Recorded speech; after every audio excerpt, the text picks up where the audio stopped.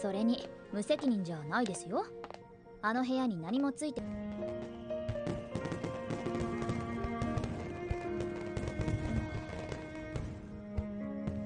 早くリッカさんを止めないとな。しかしリッカさん私のことをあそこで何と表現してたんでしょう。絶対たちの悪い女に仕立ててますよ。怖いもの知らずのお前はかなりたちが悪いと思うぞ。怖いものくらい私にもありますよ。例えば？反証がいけませんね。おじゃんになります。それは落語の火炎太鼓か。さすがクロウ先輩。リッカさんとは違いますね。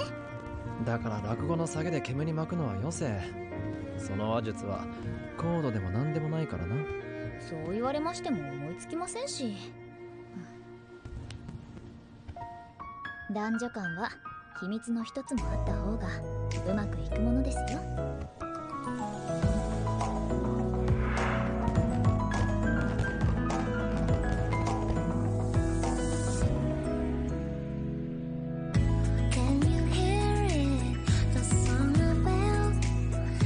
me like when